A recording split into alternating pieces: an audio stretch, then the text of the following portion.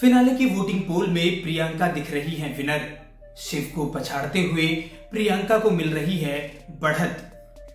TV reality show big boss season 16 में प्रियंका चहर चौधरी बतौर contestant नज़र आ रही हैं। शो फिनाले के करीब पहुँच गया है। बस दो दिन का और वक्त बचा है।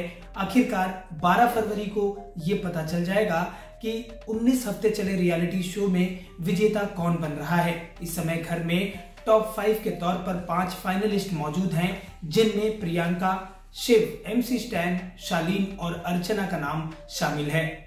इनमें से कौन ट्रॉफी उठाएगा, ये 12 फरवरी को पता चलेगा।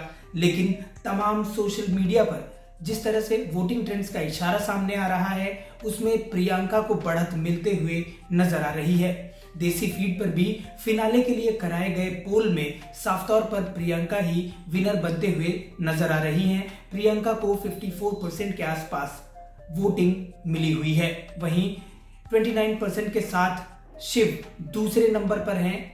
शालीन अर्चना और एमसी स्टैन वोटिंग के मामले में पिछड़ते हुए नज़र आ रहे हैं। ऐसे में यह अंदाज़ा लगाना कठिन नहीं है कि ट्रॉफी को लेकर मुकाबला शिव और प्रियंका के बीच ही देखने को मिल रहा है।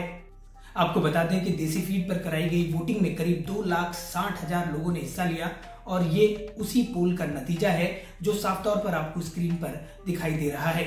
इसके अलावा तमाम प्लेटफॉर्म्स और सोशल मीडिया पर प्रसारित होने वाले चैनल्स के भी अगर पोलिंग का इशारा देखा जाए तो कुल मिलाकर सभी पोल्स में प्रियंका को ही बढ़त नज़र आ रही है।